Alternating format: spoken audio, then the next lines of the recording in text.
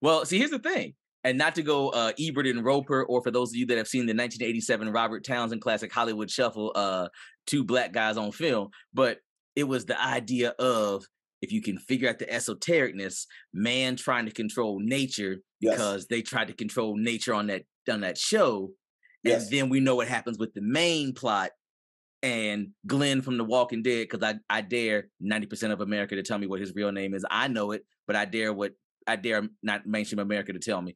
But Glenn from The Walking it's, Dead. It's Glenn. You know. it's Glenn. That's his name. Yeah. Uh, I mean, he's doing better than, than, I'm gonna say both of us. But if I see him at a Comic Con convention in like 10 years, I'd be like, What's up, Glenn? And he'll be like, that's that's not my name. Call me yeah. Steve. And I'm like, whatever, Glenn. You, yeah, you know what though? Why do black yeah, people do that? We never why do black people do that thing where it's like we will call you what your character is to your face?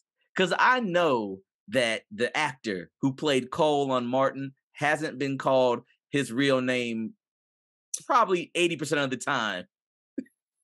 Carl? See? even you, Is that his even, name? Even Thomas. You, Wait, Thomas, right?